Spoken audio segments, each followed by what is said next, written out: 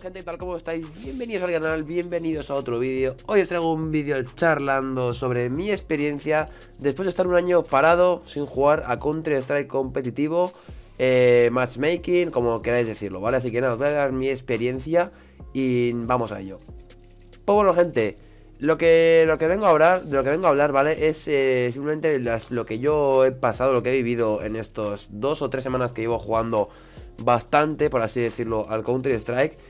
Y la verdad que eh, mi experiencia ha sido bastante mala, ¿no? Eh, vamos a hablar de varias cositas.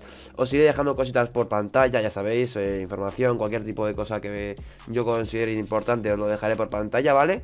Y nada, vamos a empezar por el primer punto, que son el tema chetos.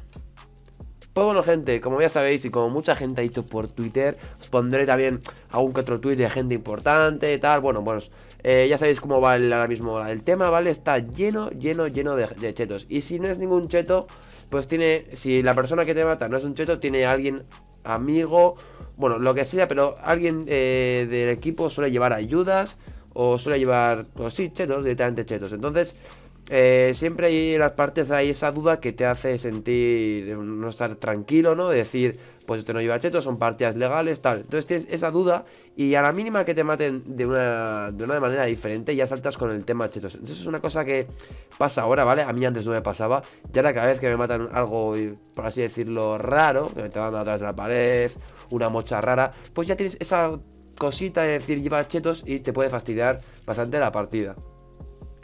Luego también el tema de servidores, la verdad que yo antes cuando jugaba y tal, el tema de servidores estaba mucho mejor, iba a 5, 4 de pin y pues ahora mismo la verdad que el pin no se mantiene casi estable, eh, a veces juego a 5, otras veces juego a 50, o sea, depende bastante. Las balas no entran bien, o sea, igual tienes 4 impactos de bala y luego te sale que le, has, que has metido igual 50 en 2 o cualquier tipo, bueno, ese estilo, ¿vale?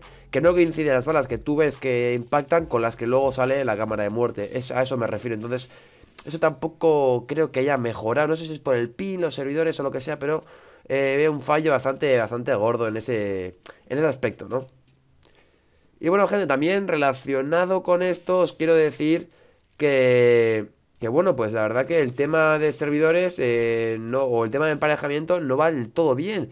Eh, me estoy metiendo últimamente con gente de Rusia que influye bastante en lo que hemos dicho anteriormente, que es el tema de pues eh, las balas, cómo va, cómo entran las balas, cómo las recibe el enemigo y tal. Entonces, últimamente me con gente de Rusia, eh, gente bastante, bastante lejos, que no hablan ni inglés ni nada, o sea que imaginaros, eh, pues de Rusia, pues, de, Suiza, de diferentes lugares, ¿vale? Bastante lejos de, de España, que es donde estoy.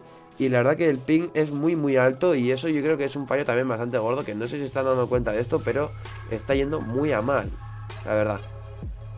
Y bueno, eh, ya para finalizar, los últimos errores que estoy viendo últimamente, que la verdad que me están afectando un montón, como ya sabéis, es el tema de, de que el CSGO gratis, y CSGO gratis conlleva machetos, conlleva más gente jugando, conlleva mucha más, eh, mucha más, pues mucho más público, eh, un, montón de jugadores, el, el, nivel está subiendo, lógicamente, ahora mismo los rangos, por así decirlo, si antes estabas en Nova 4, ahora mismo tu rango sería Nova 2 o Nova 3, por así decirlo, la verdad que va bajando y subiendo bastante el tema de, la de las habilidades, ¿no? Del nivel que hay.